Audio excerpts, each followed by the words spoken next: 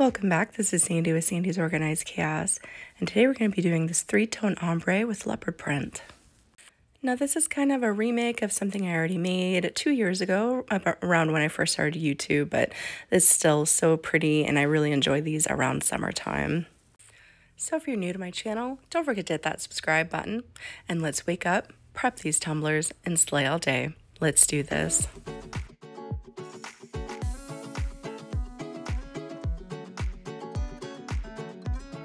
All right, we are starting off outside.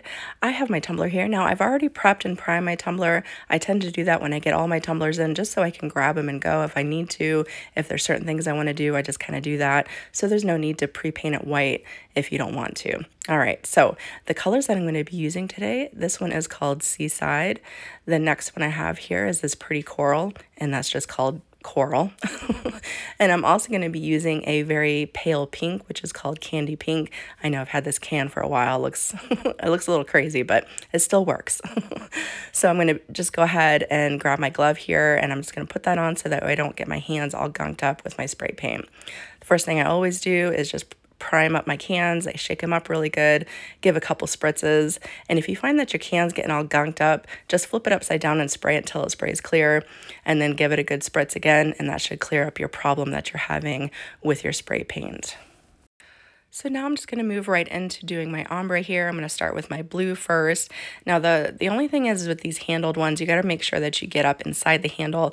And I want you guys to see how far back I'm holding my can. That's so that way I don't accidentally puddle up the paint as I'm spraying. So I just make sure that I get all up inside of there. Make sure it's about halfway up because we want to make sure we have three equal sections. Okay, so the, this first part of us going over it is just kind of like a template, and then we're going to come back through and just kind of fine tune our ombre after we get everything on here. And again, with the coral, I'm just going to make sure that I get up inside of that handle, make sure it's covered really well, and then I'm going to move on to that light pink. Now, I know you guys notice I'm kind of all over the place with my spray paint. I'm, I'm trying my best to keep it in place, but like I said, we will kind of fine tune that here in a second. But with my pink that I'm going to be using here, I'm going to make sure that I kind of stay more in line of where I need to be. So as you see, I'm doing more straight lines rather than trying to fade it up and down. That's just so that way I can have that nice gradient coloring after I'm done here. So I'm going to go ahead and do up this. You see, I'm just spritzing straight across making sure I have a nice line there. And then I'm going to come back through and start doing my other colors one more time. And I'm going to do the same thing where I hold it up straight and just start wisping it sideways in a straight line. So that way it has more of that gradient look. And then I'm going to come through one more time with my coral and I see that I missed a spot on the top or on the bottom of the handle there. So I'm going to touch that up one more time.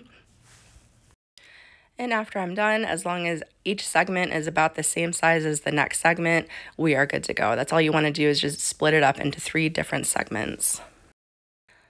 All right, now we are back inside. It's nice and dry and we're ready to start applying our glitter. So the glitter that I'm using today is a bit is a bit semi-transparent, so there is some transparency to it, so that's why we went ahead and did up our base and the colors that we did to really make sure these glitters pop.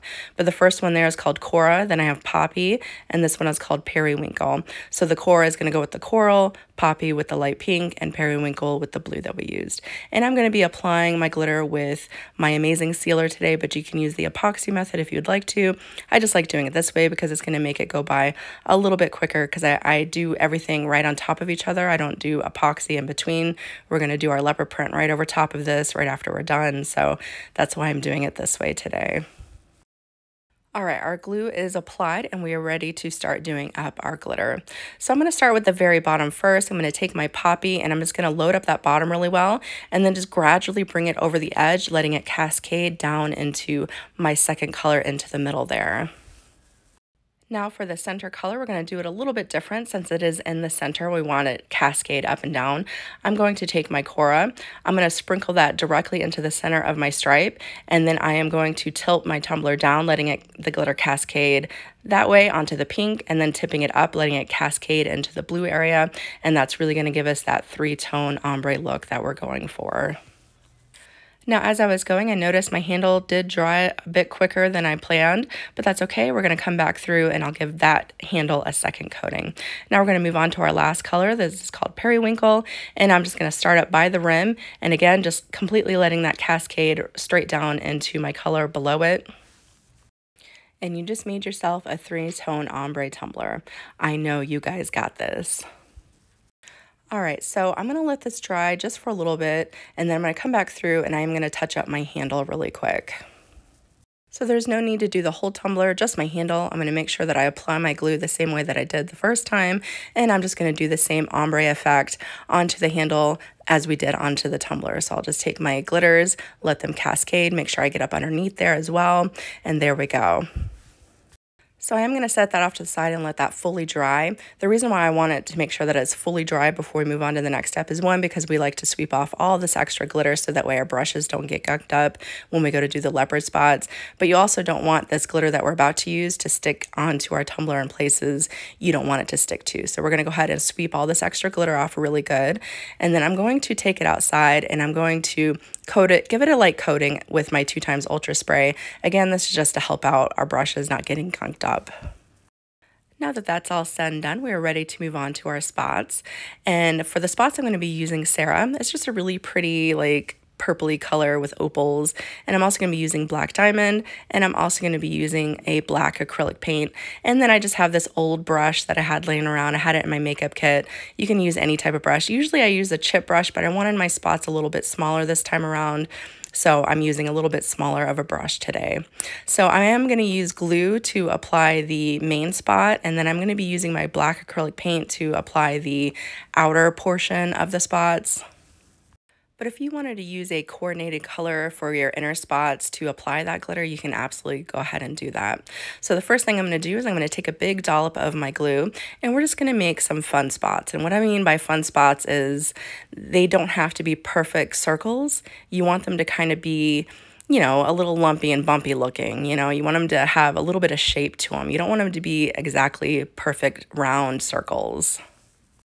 But if you guys have seen me do leopard spots before, you guys know I, I like really big leopard spots. And so this is kind of a little bit not typical of what I do. So for my spacing here, I'm just trying to keep them about, they look about an inch apart, but I'm just trying to keep in mind that there is going to be a black outer ring and you want to make sure that you still have enough space for that to go around each one of your circles. So after you get your first section filled in, you're going to go ahead and apply your glitter and then you're just going to keep going completely around your tumbler. Now I am going to be showing you guys a little bit better how I do my handle as well. So I'm going to start off with doing the spots around the handle first. This is just going to be able to give me a good view of where I'd like the spots on the handle because you don't want them to look too mashed up together. So after I looked at it, after I applied those, I want one about right there and you just apply your glue. You're not worried about the underneath of the handle, just the top of the handle. And then I think I want another one around the bottom of the handle as well. So again, I'm just going to take my glue kind of pounce that up onto the handle like so, kind of around it, kind of make it look like it's it's connected to the handle. And there we go. Now the handle is done. Now I'm just going to completely do up this entire tumbler in my spots. Again, keeping about an inch space of all of them. And I'm also making sure that I do the bottom as well. You don't want to forget about, about the bottom. You're going to go ahead and sprinkle your glitter on, and then we'll be ready to move on to the outer ring of our spots. All right, that's all done. And now I'm just gonna set that off to the side. I'm gonna let it dry for about a half hour. You just, again, wanna make sure that none of the black glitter is going to get glued down to our spot portion. So the first thing we're going to do is just like our base, I'm going to come through and sweep off any extra glitter. And this is your time also if you didn't use an acrylic paint underneath, you can come through and do touch-ups if you need to, if your spots aren't as vibrant as you would like to. So that's when you want to do this as well. But we're just going to go ahead and sweep this off really good. And then we're going to move on. All right, I have my black acrylic paint and I'm just using the same exact brush that I used for my spots. I just washed it off really good and it's good to be able to use for the outer ring. I have my black diamond all set up and we are ready to go here. So now the first thing I'm gonna do is I'm gonna take my brush, I'm gonna load up my acrylic paint. I'm just gonna dabble it off a little bit because you don't want it too much on there, but you definitely want enough so that way your glitter is going to stick to it.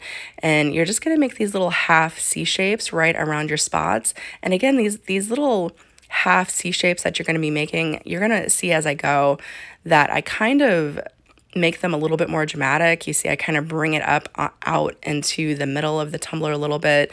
Again, they don't have to be exact. That's that's the fun part about this is it does not have to be exact. Okay, so you want the little paintbrush lines in there. It'll it'll make it look more like fur. You know, you want it to be a little bit more kind of swooped out and, and all that on onto your spots, and that that's gonna make it look a little bit more realistic. I know it's like a rainbow leopard, but it's going to make it look more real realistic.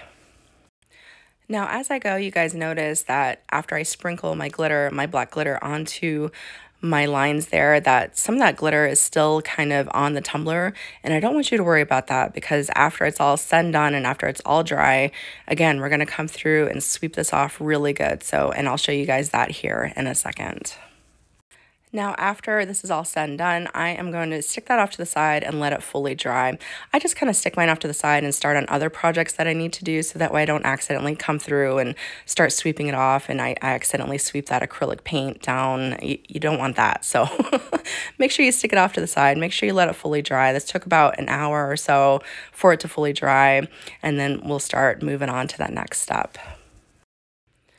All right, it's nice and dry, and now's the time that you really want to make sure you get your little chip brush in there and sweep out any extra glitter. This is very, very important because you don't want any of these glitters shifting around on you when you go to apply your epoxy. So this is a, a big important step for you if you don't want to add any extra little glitter. I, I'm I made a little mistake, which I'll I'll show you guys when I start to epoxy it, but I'm going to go ahead and sweep this extra glitter off really really good.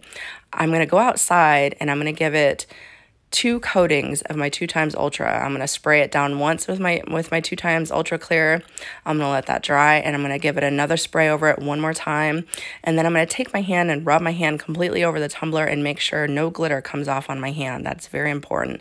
If you still have glitter that's kind of moving around when you wipe your hand over it, give it another coating of your clear coat. And that's really going to ensure that none of these glitters are gonna shift on you when you apply your epoxy. So I have my epoxy all mixed up here. I'm using 20 mLs of my epoxy. Now it was about right here at this point that I needed to adjust my wand, so I did that. And at some point I had stuck my hand back down on the table in that brief moment there and I had forgotten to clean up my table and I still had a bunch of that black glitter on my table and because I knew it wasn't moving around on my tumbler and so all that black glitter was on my glove and I smeared it onto my tumbler. Now this isn't a big deal. And there was no way that I could pick all that out. So I decided I was just going to keep moving forward with it. And you know what? This is just a great way to kind of show you guys how we can kind of fix our mistakes. And actually, I you know, nobody would have known. If I wouldn't have said anything, nobody would have known, but we're it's all good. So we're going to go ahead and apply this epoxy and I'm going to show you guys how I fix that. All right, so on my turner, I'm going to go ahead and hit it up with my torch because it's going to be fabulous no matter what, right?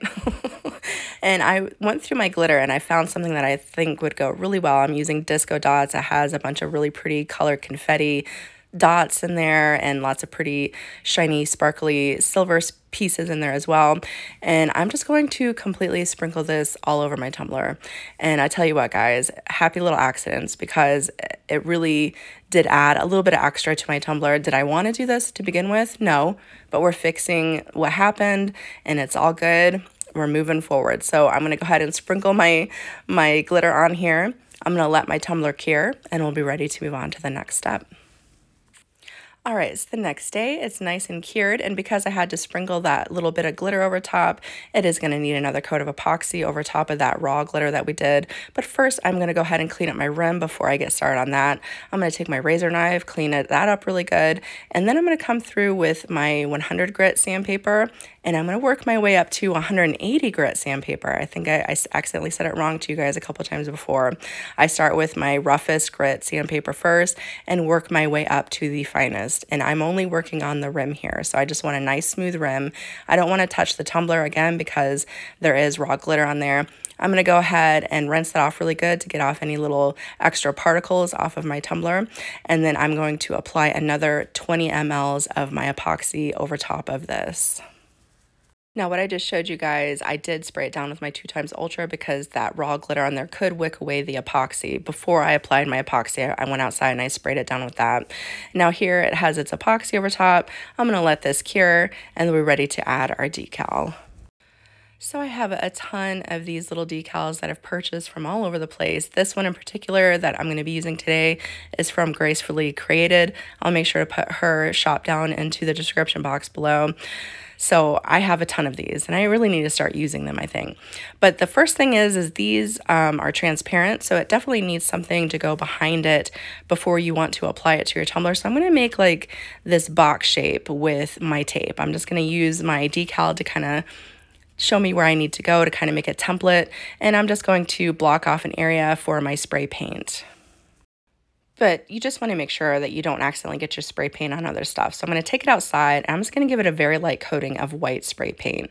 And then I'm going to bring it back inside and I'm going to go ahead and peel that tape back. See, it very simple, doesn't have to be anything crazy. We're going to go ahead and peel back this tape and then I'm just going to distress the outside of my box just a little bit because I just didn't want it to be just a full-on white box in the center of my tumbler. So I'm going to take a little bit of rubbing alcohol. I just have 91% rubbing alcohol. I'm going to take my paper towel and I'm very, very lightly, I mean, I'm barely touching the edge of this paint here. And I'm just going to kind of give it a distressed look all the way around this box. So anytime that you do a painted image like this and you want to apply a water slide or a decal like the one that we're using today, you are supposed to always put a coating of epoxy over top of it because you could be able to see the outline of your image. But I didn't feel like doing that today. So instead, I'm actually going to take my UV resin and I'm going to give it a coating of UV resin over top of my paint so that way I can move on to putting on my decal and you won't be able to see the edge of my decal. So all you want to do is just take your UV resin, make a nice thin layer of that UV resin right where you want your decal, right over top of our paint here and you're going to hit it up really good with your UV light and let that sit. I believe mine says about 13 minutes, or you can just take it outside and let it sit outside, but you definitely want it nice and cured before you add your decal. Then all you're going to want to do, and I, I changed my mind on my decal. I decided on this one. I thought it looked nicer. I don't know. I have so many, like I said. and then all you're going to want to do is peel back your decal, place it right over top of your area there, and make sure that you burnish it down really well. You don't want any little bubbles underneath. So I just like to take my little squeegee here, squeegee any little air bubbles out, and there we go. And then after this, I'm going to give it its two last finishing coats of epoxy, and it is ready to go. Whether you take this design and duplicate it as is, or you take it and let it inspire you to create something that is completely your own, I hope that you guys had a lot of fun watching this tutorial today. Again, if you're new to my channel, don't forget to hit that subscribe button and I will see you guys next time.